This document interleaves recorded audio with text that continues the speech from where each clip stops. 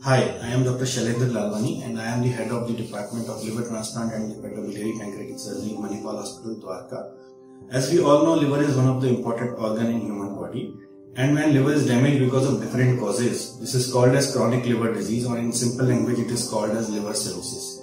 Common causes of liver cirrhosis in India in adults are alcohol, hepatitis B and C and fatty liver disease because of obesity.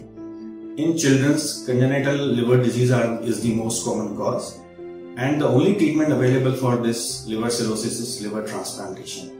Liver transplant is a procedure in which damaged liver of recipient or patient is removed completely and part of the liver donor which we take from the donor is implanted in the patient.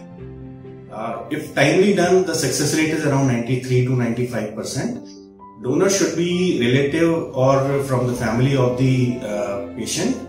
He should be between 18 to 55 years of age and he should be healthy and having the same blood group or blood group O.